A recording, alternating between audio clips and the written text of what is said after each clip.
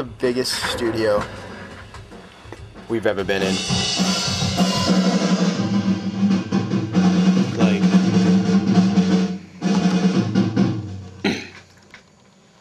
it's like when uh, Christian from Drifters was telling us the difference between like West Coast and East Coast studios and like how East Coast studios is you know small studio or a loft or something like that, and then uh like West Coast they have like these huge auditoriums and revamped like airport hangars and stuff like that. Uh, the Ramones recorded in like an old church or something like that.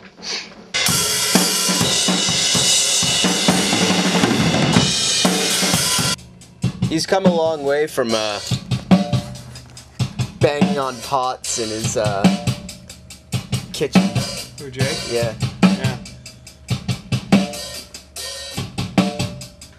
But he always knew, even back then, he always knew when to use the pan as opposed to the crock pot. Yeah. You know, to get that that lovely rock and roll sound.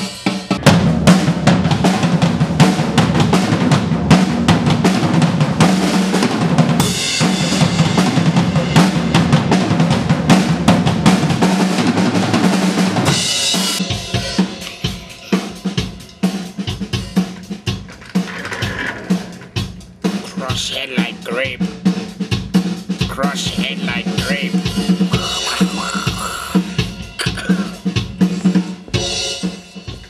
We're motherfucking punk rock.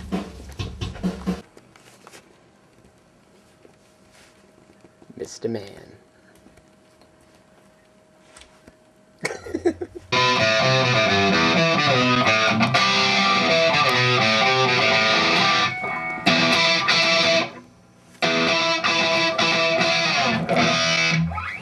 He's so mad.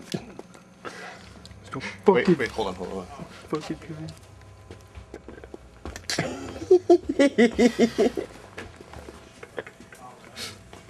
And oh, he's like, oh man, he had glasses. Go in there and ask him to take off his glasses. Interesting, I think it's Yeah. Let's get the bass happening. Look at